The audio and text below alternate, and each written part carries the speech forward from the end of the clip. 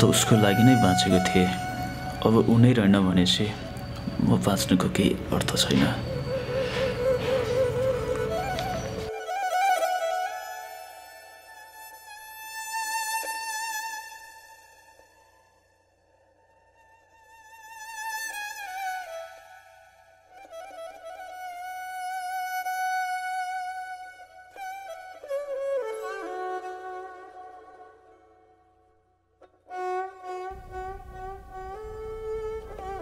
गर्नुहोला तपाईँले सम्पर्क गर्न खोज्नु भएको मोबाइलको स्विच अफ गरिएको छ। सरी द मोबाइल माफ गर्नुहोला। तपाईँले सम्पर्क गर्न खोज्नु भएको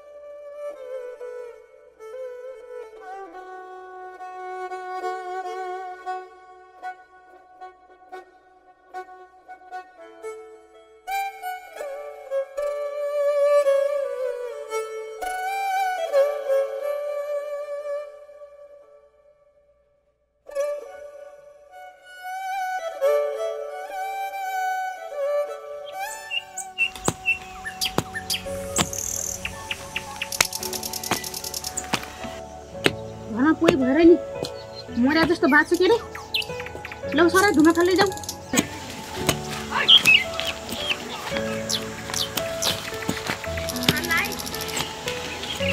मम्मी बाबा खै मम्मी बाबा खै मम्मी बाबा खै के किन चाहियो तल तेरो बाबा तेरो बाबाले कहाँ तमासु देखेर आएको छ होला कहाँ गएर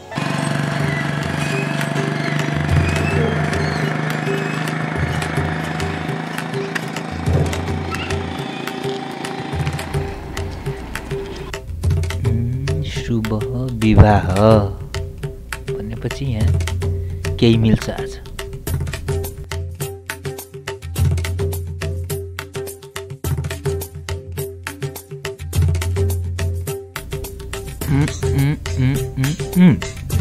यो जुत्ता चाहिँ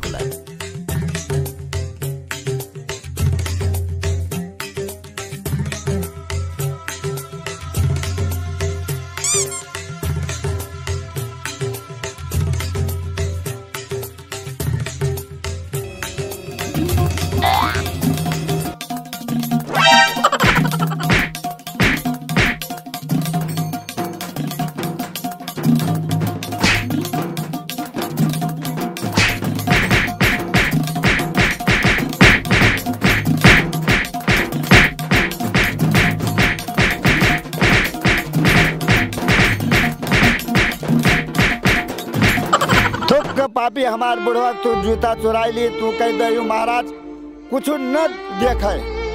हम देखे, तू कह जेरा बहुत हैरान होएगा, तू कह दयू महाराज, कुछ माफ़ न करिए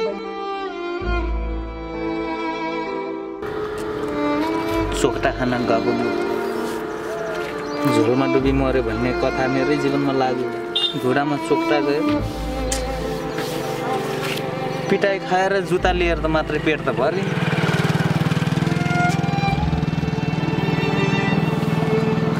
खान त पर्यो कहाँ गएर माफ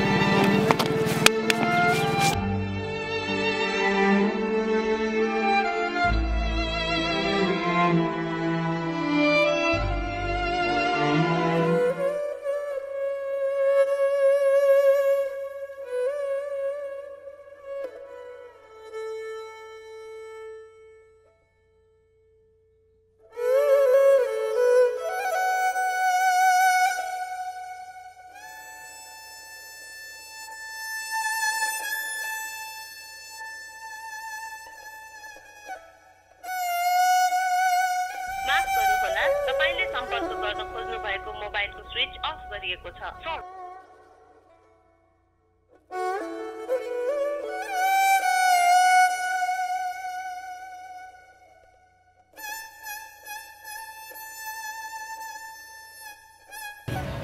किन मर्ने? जब यति सानो कुरामा एउटा केटीले धोका दियो भन्दैमा मर्ने? बल्ल बल्ल पाएको जीवन। है?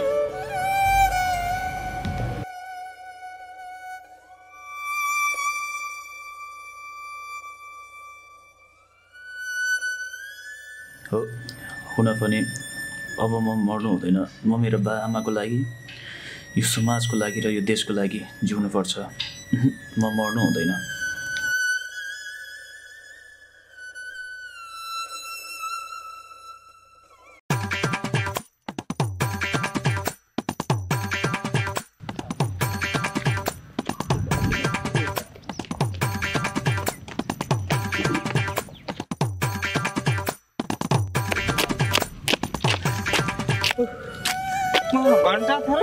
मन्दिरको यार। सबले टाउकोमा नि। हे प्रभु कति दिन बिना छानाको घरमा बस्नु? कहिले काहीँ त राम्रो ग्राहक पनि पठाइदेऊ प्रभु कहिले काहीँ त राम्रो ग्राहक पनि पठाइदेऊ।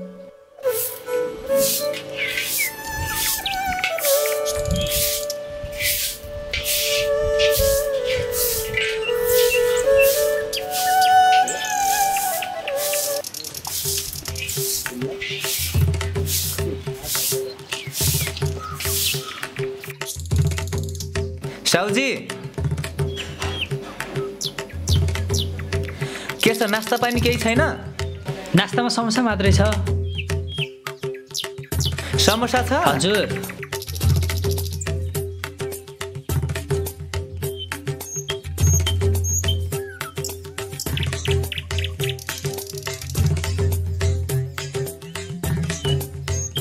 ल दुइटा समस्या दुइटा मात्रै छन्। हजुर। ठ्याक्कै दुइटा ठ्याक्कै दुइटा ठ्याक्कै ल दुइटा समस्या ल्याऊ मिठो मानेर खाइदिनु होला। मिठो मान्ने हो। हजुर।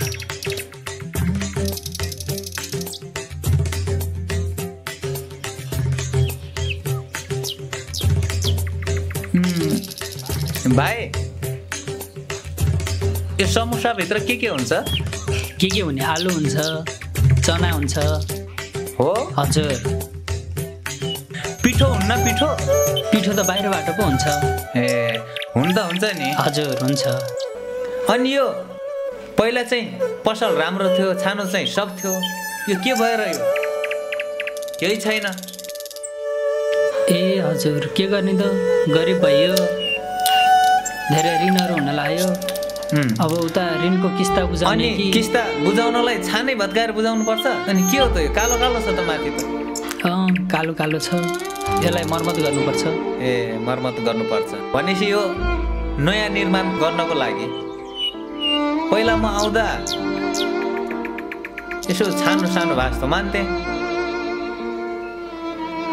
छानो के? यो पहिले पहिले त राम्रै थियो। पहिले पहिले त राम्रै थियो। आगो लागि भयो? आगो लागि भयो आगो लागि भयो। त्यसपछि छानो हाल्न सकिरहेको छैन। यस्तै भइरहेको छ। अब कहिलेसम्म बिस्तारै हालौँला नि। अनि सरकारले केही दिएन? सरकारले दिन्छु दिन्छु। सरकारले? कहिले हो कहिले? सरकारले हजुर ल भाइ म लाग्यो है।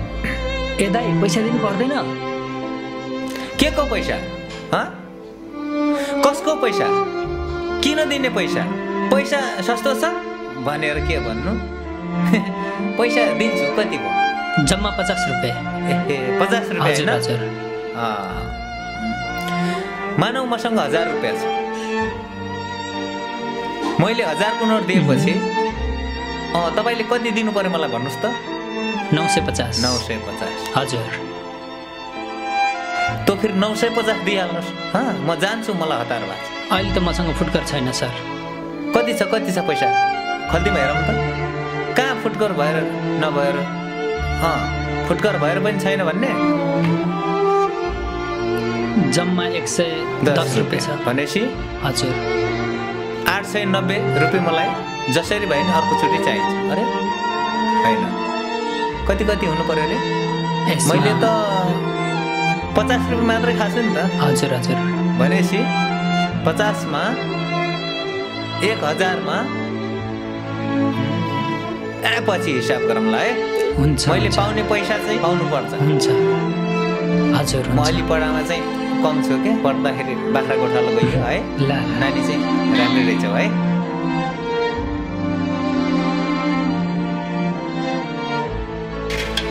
ल नानी। म गाउँ जाँदैछु। कोही ग्राहकहरू आए पनि राम्रोसँग हिसाब किताब गरेर राख्नु है? ल म जाँदैछु ल।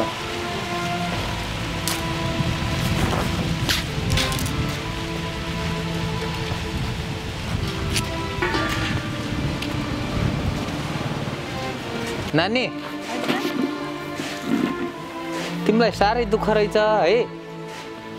भाँडा पनि माझ्नु पर्दो रहेछ यस्तो छानै नभएको घरमा बस्नु पर्दो रहेछ। अनि यो छानै नभएको घरमा कसरी बस्छौ? कति दुःख भयो होला? बरु हाम्रो घरमा एउटा सिट खाली छ। गर्छौ त। केही काम गर्नु पर्दैन। खाने बेला थाल थाप्ने सुत्ने बेलामा बिस्तार लायो हुन्छ के? हाम्रो घरमा दुईवटा बुढी थियो। मेरो के घैटी र पुग्ली भन्ने। त्यो पुग्ली चाहिँ माइत गयो हिँडिहाली। अनि अनि त्यो पुग्लीलाई चाहिँ के के रे के गरी गाउँको मान्छेले धपाइदियो के? त्यही भएर जान्छौ त। तिमी यहाँ त्यो फेरि यहाँ किन आएको थियो? खोइ त नराम्रो नराम्रो भनेर गएको थियो। किन राम्रो भनेको थियो? मसँगै हिँड घर लग्छु हो? भनेको थियो। त तेरो